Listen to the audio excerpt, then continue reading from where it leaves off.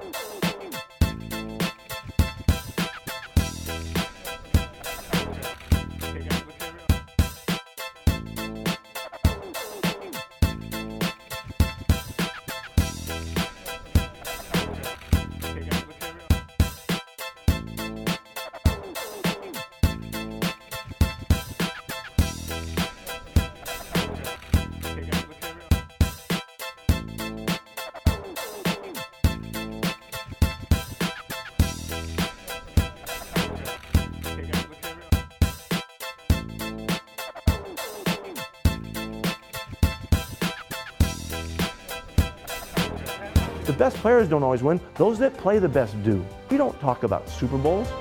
We just talk about every single day trying to be the very best you can be. My freshman year at UOP, Pete Carroll, who is the Super Bowl championship coach of the Seattle Seahawks, was my graduate assistant.